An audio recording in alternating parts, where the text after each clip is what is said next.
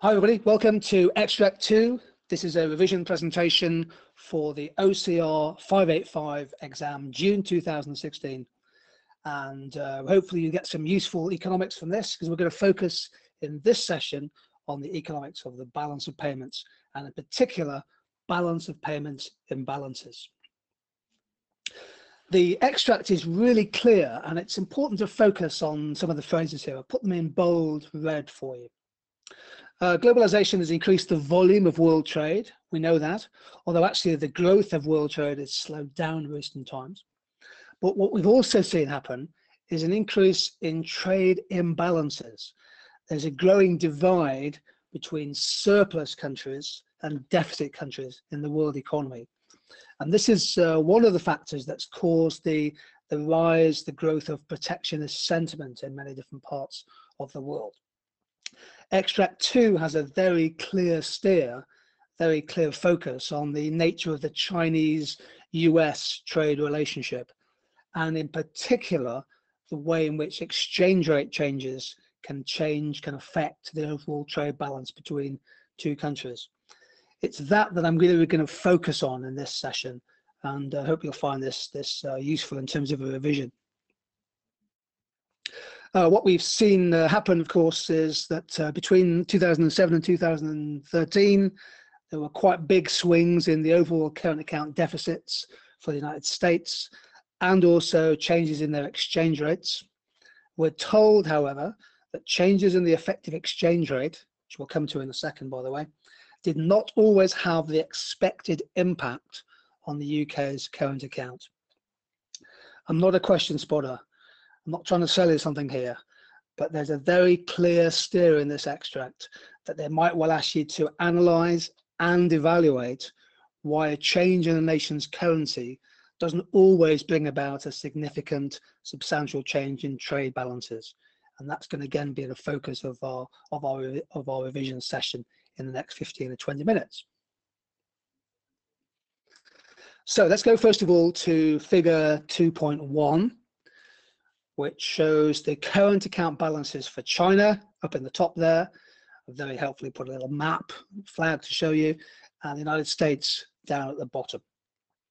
Okay, so what are the key things to take away from, uh, from this chart? First of all, that we're measuring trade here, the trade balance, X minus M, in billions of US dollars, standardized measure. And you can see, hopefully fairly clearly, that China runs a current account surplus every year which peaked in 2008 at just over $400 billion, but has subsequently fallen. Whereas the United States is running a uh, current account deficit, uh, which uh, peaked at the start of the period at about $700 billion, fell very sharply in 2009, largely as a result of the recession, to just under 400 billion. And since then, by and large, the USA has run a current account deficit of around 400 to 450 billion dollars each year up to 2030. So what's this essentially saying to you? It's saying that there's a big trade imbalance between these two giant economies. Uh, China on the one hand has a structural trade surplus. The United States on the other has a structural trade deficit. Now, one way of uh, measuring it is as shown in figure 2.1 in terms of billions of dollars. I just want to alert you to the fact that there's another way of showing uh, the trade balance, and that is to measure it as a share of the nation's economy, uh, as a share of percentage of GDP. So what I've done in this chart is simply use exactly the same data, um, updating to 2014, but I'm expressing the Chinese current account surplus as a share of Chinese GDP. You can see again, it peaked in 2007 at about 10% of their national output. Since then, it's fallen very sharply. So China is now running a current account surplus of about 2% of her economy. That's you know a fifth of what it was seven or eight years ago. That is a substantial realignment of the Chinese current account. The surplus, although it's huge in dollar terms, um, is not as big as a share of their, of their economy. And pretty obvious reason why not, because China's been growing an average of 9% each year. The denominator, the GDP, has been growing very quickly. What about the United States? We'll go back to 2004. They were running a current account deficit of about 5% of GDP. If you follow the blue line, that uh, worsened in 2006, then improved quite sharply through to 2009. And since then, actually, the American current account deficit has improved. It's been about two, two and a bit percent of their GDP. So the key takeaway point I think here is that there are still those big trade imbalances. The USA still runs a large, significant current account deficit, but the trade surplus that China enjoys is much smaller than it was before. Now back to uh, the extract, um, extract two. The second chart you have shows the exchange rate for the United States for the US dollar. Now this, this chart's interesting and important because it shows the effective exchange rate index. So it, it's not the dollar against the yuan, it's not the US dollar against the pound or against the euro or against the Japanese yen. What this chart is showing is the overall trade weighted value of the US dollar against a basket of currencies. And that basket is weighted according to the percentage of trade that the United States does with different countries. So it's heavily weighted, for example, towards Canada and Mexico, uh, towards the European Union, and yes, towards countries such as Japan and, and China. So the chart is showing the exchange rate index for the dollar. It's expressed as an index number, and 2010 is the base year for the index. Can tell that because the index number and the value of 100. Now, what what is happening here? What does it suggest? Uh, it suggests that the dollar has fallen. Okay, so the US dollar has fallen as a share of uh, the US dollar has fallen as a share of uh, as, a, as, as a currency. Okay, there has been some depreciation there. But the extent of the changes isn't particularly great. We'll come back to that point in a second. Let's go first of all from 2009 through to 2011, and we found we find that the dollar fell in value, fell from 104 to 95. You can do the maths. That's a depreciation fall in the dollar of 8.65%. So that's not an insubstantial depreciation. It's just under 10%. Actually, when we find, if we go back to figure 2.1, we can find that the US current account deficit actually got worse over this period. So a fall in the US dollar, actually at the same time, the current account balance worsened. That suggests, that more than strongly hints at a kind of J curve effect. And we'll come back to that in, in a few seconds. So the dollar fell from 2009 to 2011. And then for the final two years of extracts, uh, figure 2.2, the dollar starts to appreciate once again.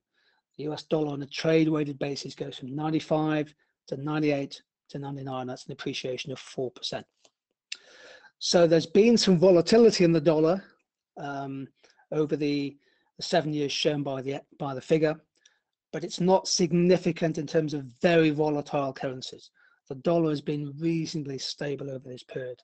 If anything, it's depreciated, but not by a huge amount. If we just add a little bit to what's happened since the extract came out, we find that the dollar has been appreciating quite sharply.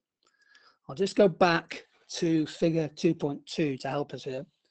We can see that in 2012 and 2013, the US dollar did start to appreciate again. Not against every currency, but overall. And from 2013 onwards, flat line for a year or so, but look what's happened since the end of 2014 into 2015 and into the, the first uh, three or four months of this year, the dollar has appreciated quite sharply.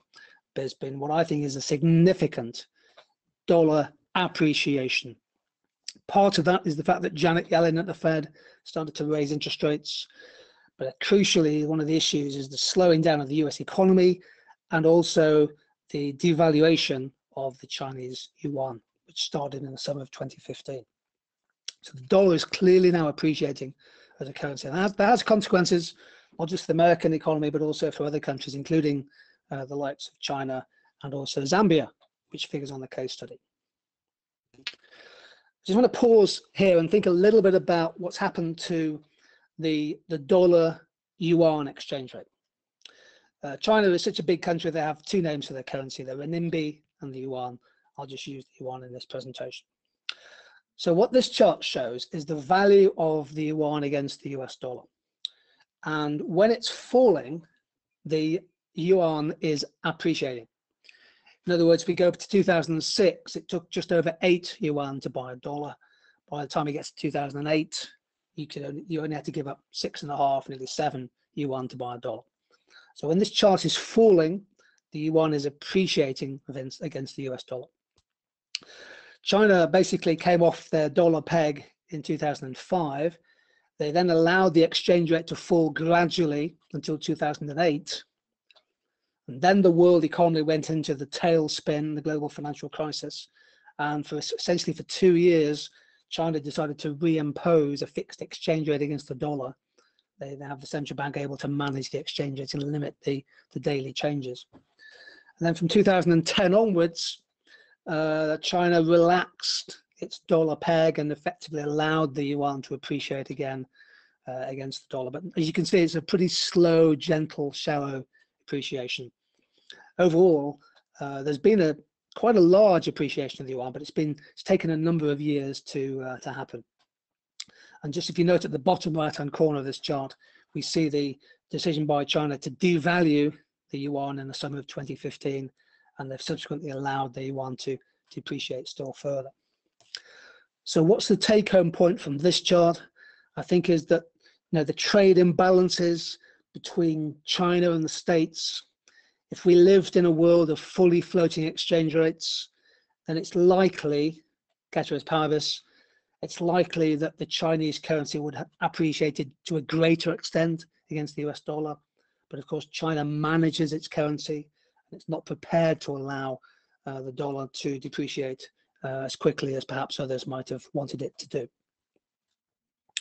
Part of extract two will be, in all likelihood, a chance for you to analyze the effect of exchange rate changes on the trade balance.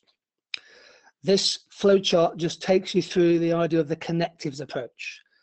So the essence of the extract is that the dollar has depreciated. Uh, it buys fewer yen and euros and, and yuan than it did before. So starting in the top left, if the dollar depreciates, that means it buys less of other currencies. In theory, that means that US goods are uh, cheaper, priced in foreign currencies but also the imports coming into the United States are more expensive priced in dollars.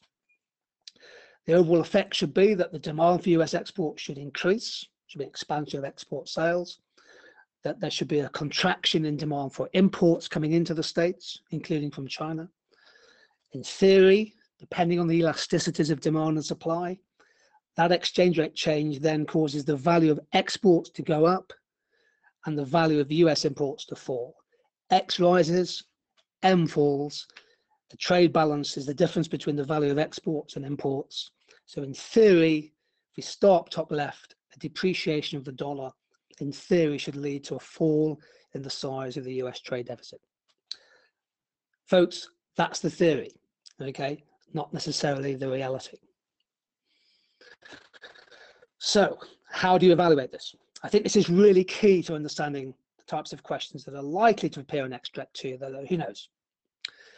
In theory, a currency depreciation, for example, of the dollar, is an expansionary policy for the United States because it should, in principle, expand their trade sector, help to improve the trade balance, and be a stimulus to, to demand and growth. But this depends on, and this is an evaluative phrase that you can always use to score strong marks. It clearly depends on time lags it, it's going to take a while for uh, consumers and businesses to notice and then respond to the change in the price of exports and imports. So time lags will be important.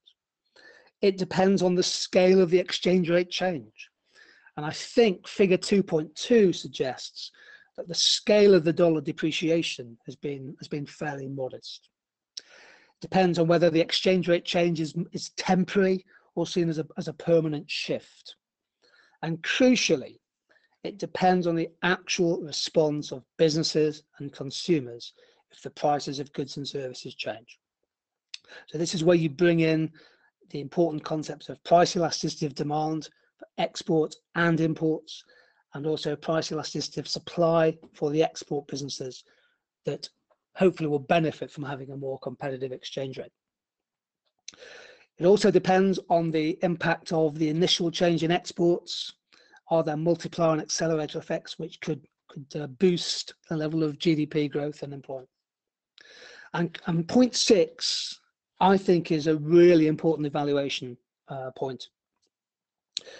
The effect of a depreciation of a currency really does depend on when the currency change actually happens. In particular, does it happen when you're coming out of a recession, when there's plenty of spare capacity which you can take use of? And does it happen when your trade partner economies are also recovering, in which case they're perhaps more likely to want to buy more of your products? So the timing of an exchange rate change can be as important as the scale of an exchange rate change. And I think that's a useful evaluation point to bear in mind. Okay, so now we come to a possible analysis diagram. Uh, we're hinting that in extract two, we're told that the change in the, the American balance of payments on current account was not as big as might have been expected given the exchange rate change. Well, what they're really hinting at here is the idea of the J curve. And the J curve is essentially a, an idea which says that if you have a, a depreciation of the currency under a floating exchange rate, or if you have a devaluation of a currency in a fixed exchange rate, the effect on the trade balance actually can be perverse in the short term. The trade balance may actually get worse. The deficit may increase in the initial time period after depreciation. So we show this just using a nice little schematic diagram. You start with a position of trade deficit, you go down to a lower point, the, deficit's got bigger, and then hopefully, if the elasticities start to work through, the trade balance starts to improve in net terms. You end up in a better place than you had at the start. And this is called the J curve idea. The reason for the downward sloping bit is essentially that uh, businesses are committed to buying a given quantity of imports uh, they might be buying 50,000 tons of copper or a million barrels of oil. But when the exchange rate depreciates, those imports suddenly immediately become more expensive.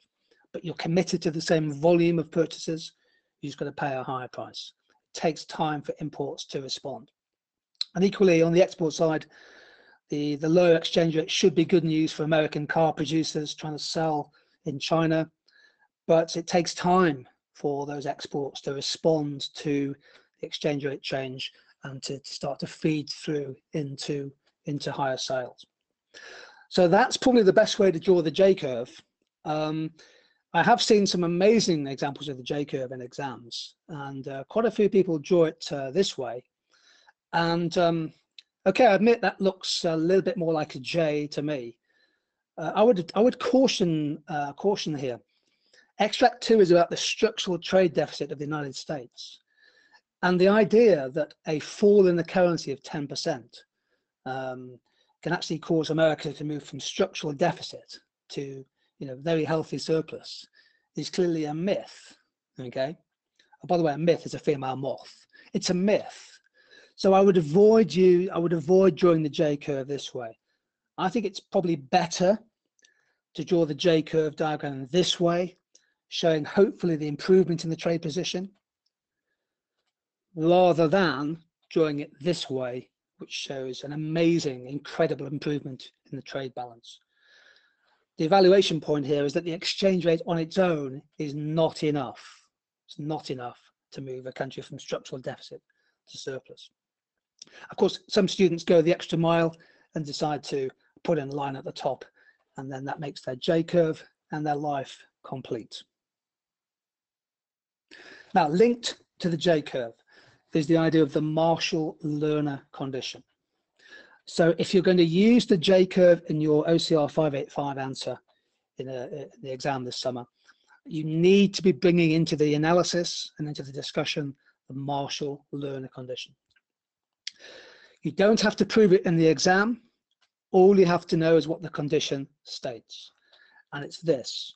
A depreciation of the exchange rate will eventually lead to a net improvement in your trade position, provided that the sum of the coefficients of elasticity of demand for exports and imports are greater than one.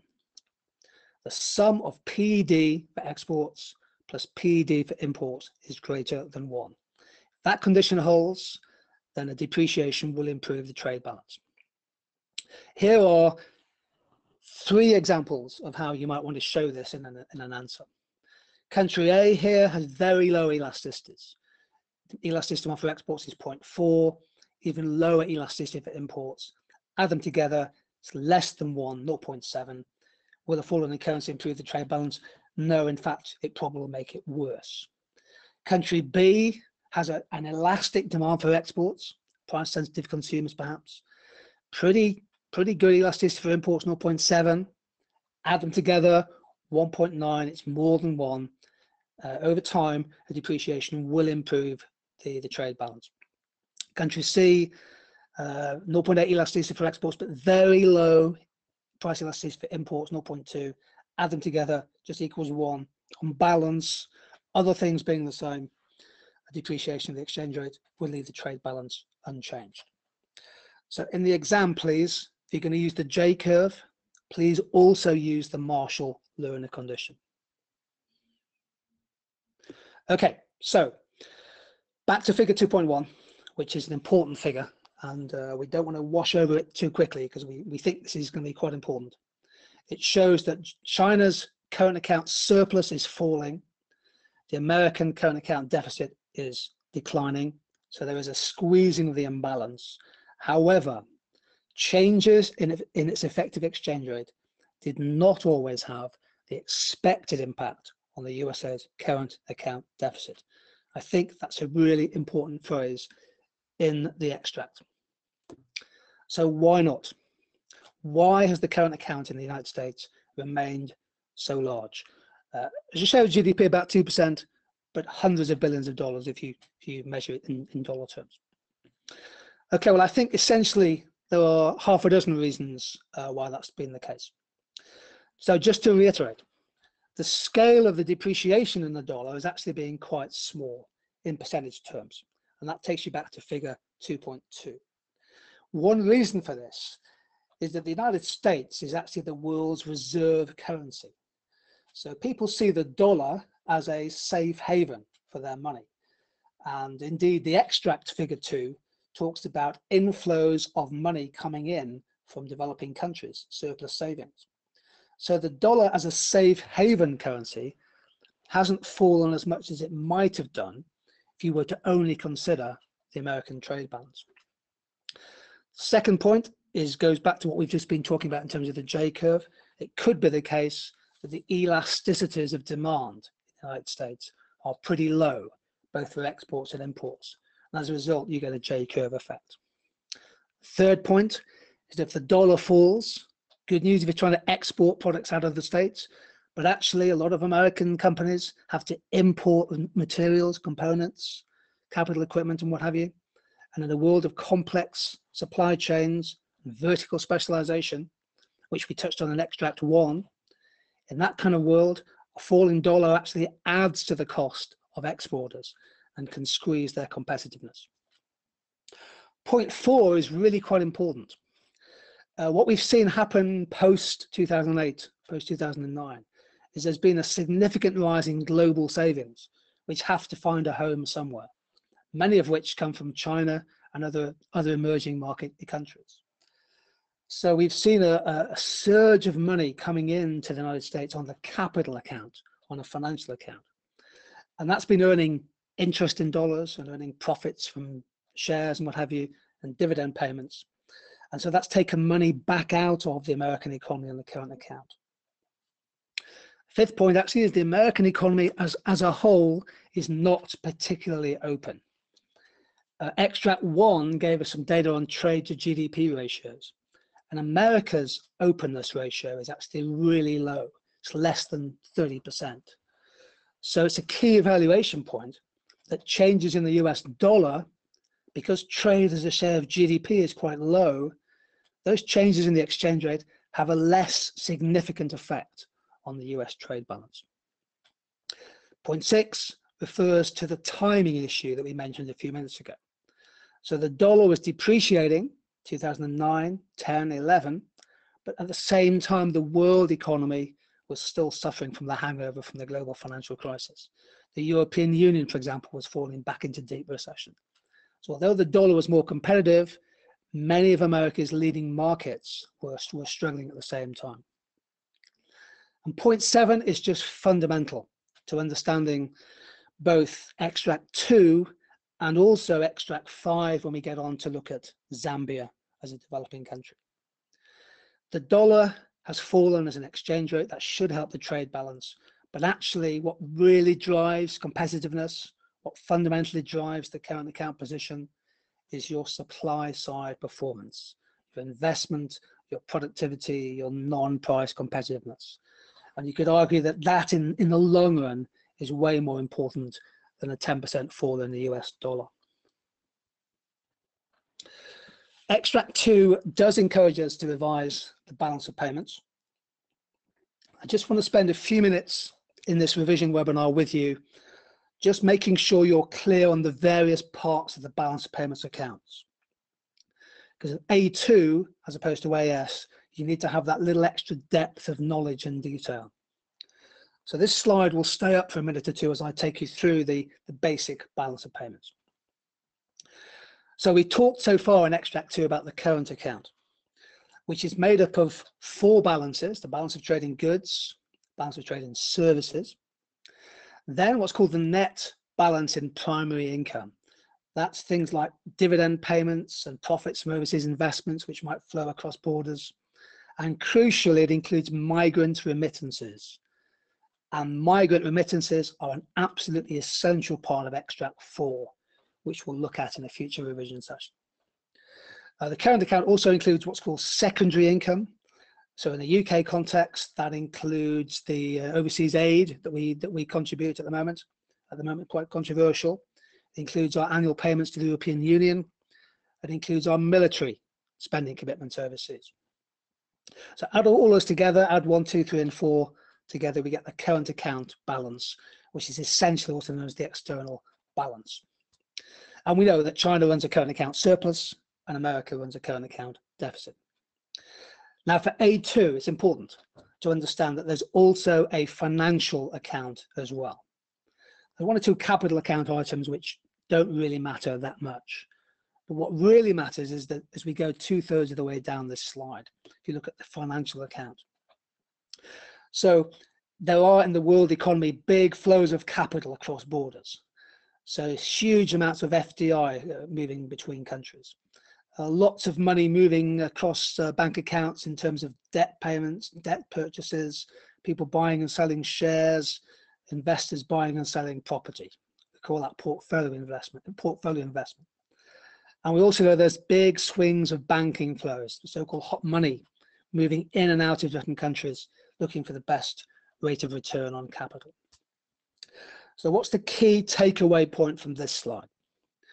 The current account basically measures whether a country is paying its way internationally. The financial account is a way of balancing the books. And this is the really important point coming up. If a country has a current account deficit, for example, the United States or the UK, and it needs to attract inflows of capital on a financial account to balance the, the overall balance of payments. Countries like the United States and the UK are deficit countries on the current account. They have to attract inflows of finance, FDI, portfolio flows, hot money, etc., to balance things up.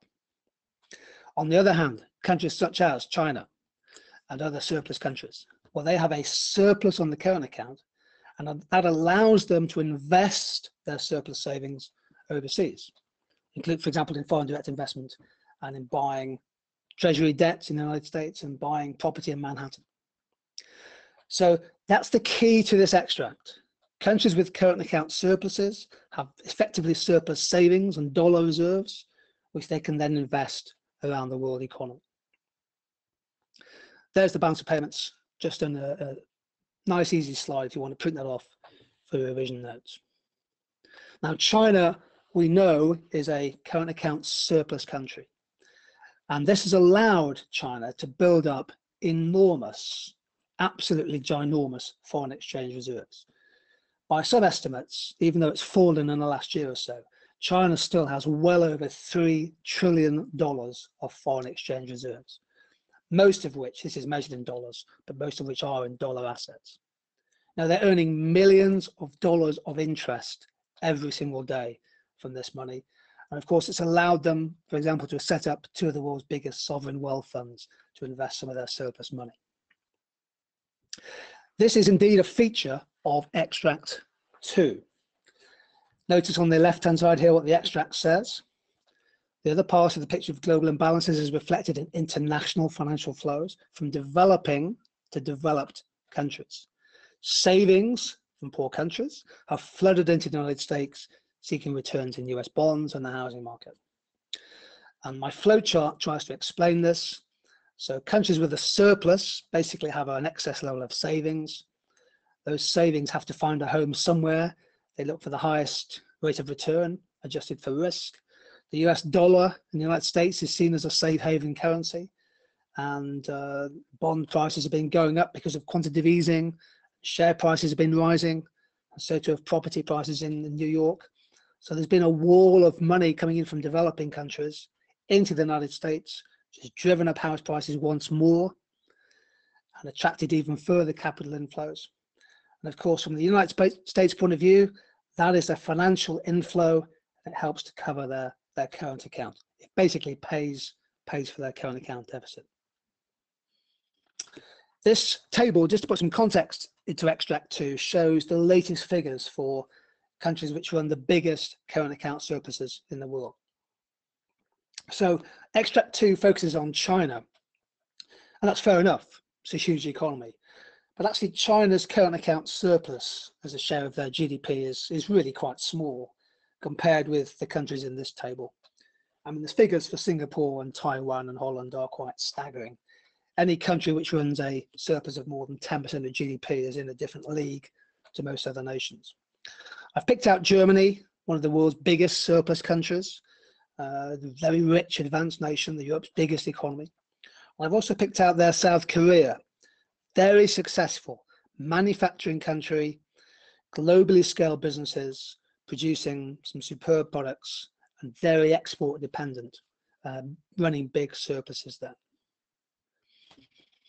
Now, why, why are these countries running current account surpluses? I think in the exam, it's important to make a distinction between a structural cause, which is basically on the supply side, and a cyclical cause, which is essentially driven by changes in the economic cycle of one country or the world as a whole. So why is it, for example, that South Korea and Germany and China and Singapore are running big structural surpluses on their trade? First reason is because they're nations of savers. They, they save a lot more than they invest. So they're not necessarily spending as much on imports as perhaps they might. Second structural reason is that these countries have built and established huge globally scaled businesses with brand names that you recognize around the world.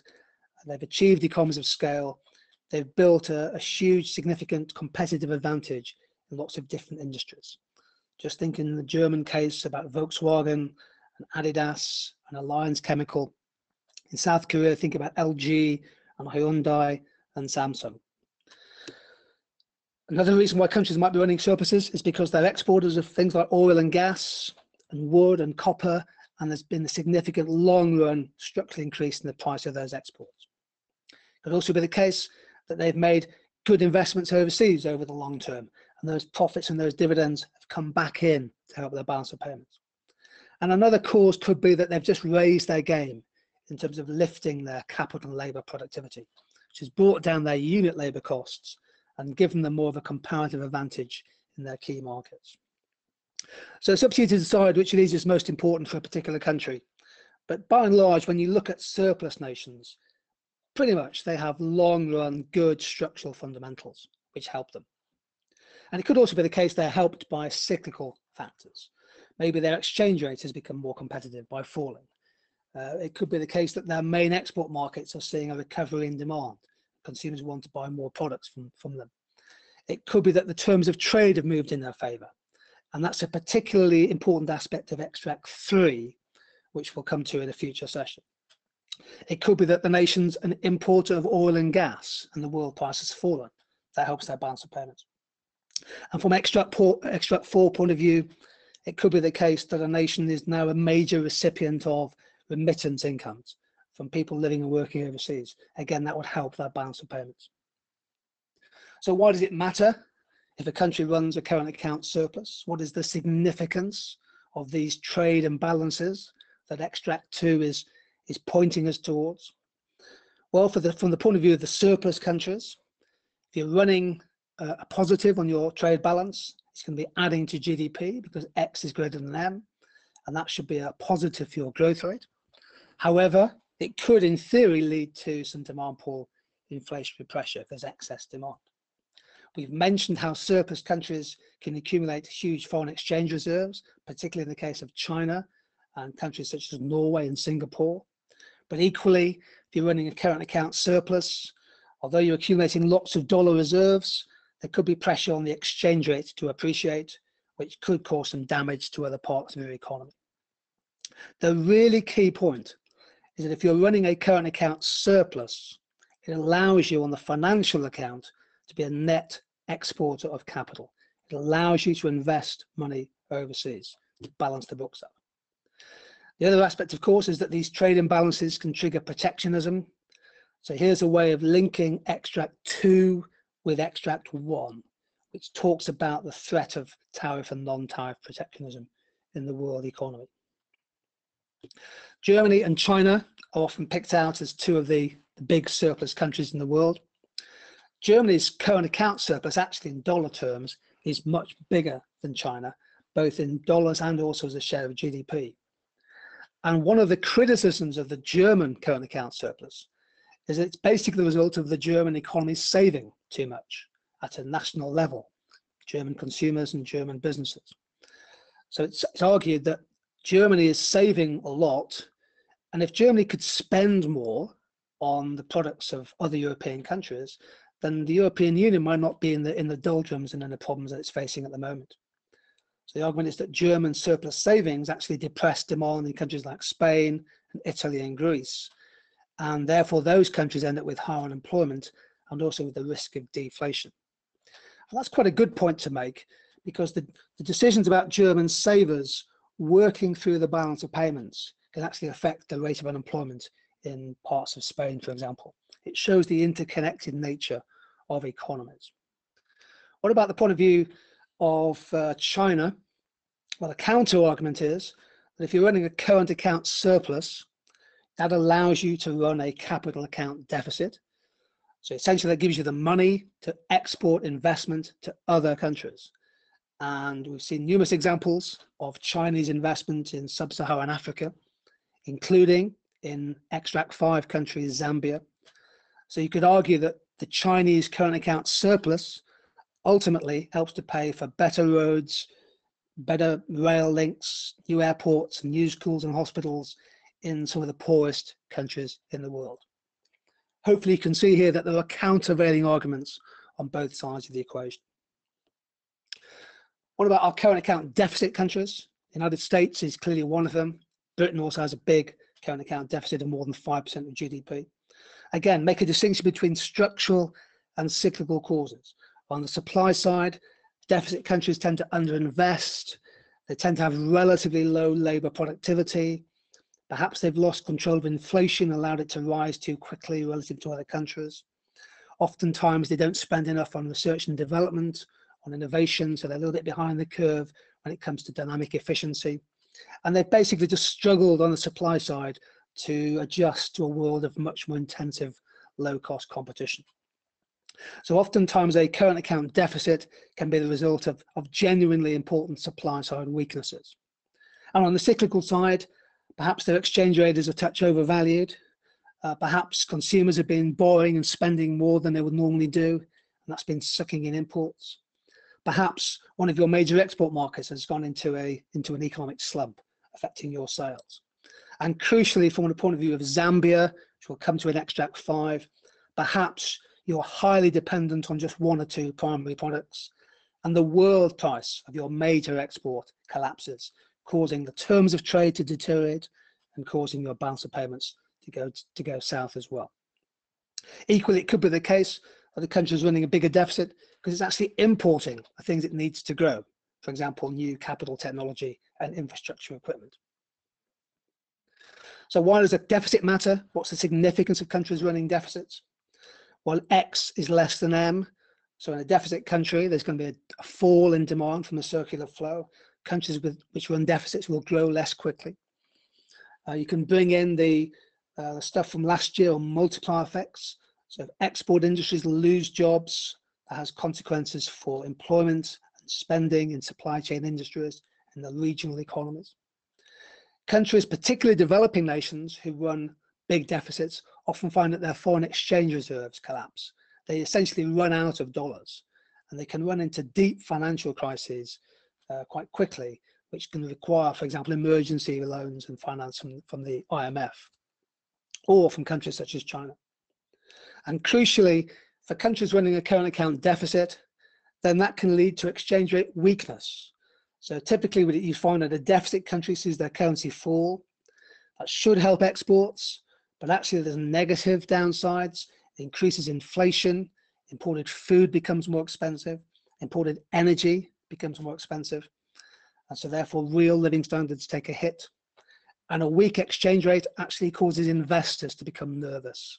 So for example, governments may have to spend more interest on, on any debt that they issue. So current account deficits are often a sign of economic weakness, but can create problems in their wake. The key question really is whether a current account deficit can actually be, can it be financed? Is a country in sufficiently good state? Is it sufficiently stable economically and politically? Does it have enough attractive investments to bring in the portfolio money, to bring in the hot money, to bring in the FDI? And that is certainly a topic we'll return to in some detail when we come to look at Zambia in extract five. So this revision session has looked at the balance of payments. This is the, the key aspect of extract two. In particular, we've made a distinction between the current account and the financial account. And we've looked at the whole issue of the Chinese-US trade imbalance and whether or not a change in the exchange rate on its own is sufficient to restore some of the imbalances that we see between some of the big countries in the world. Hopefully you found this useful. Please go through the presentation again at your leisure if you have a few moments later on. We'll stream this on the web. Uh, we're very happy to keep the conversation flowing. Uh, on Twitter, my Twitter handle is at tutor to you, Geoff. Loads of new more new resources on this uh, exam, more generally on our website, uh, tutor2u.net forward slash economics. Look forward to uh, meeting up again and uh, doing some more work on this uh, important exam in uh, future sessions. So for now, thank you for joining in and take care and we'll see you soon.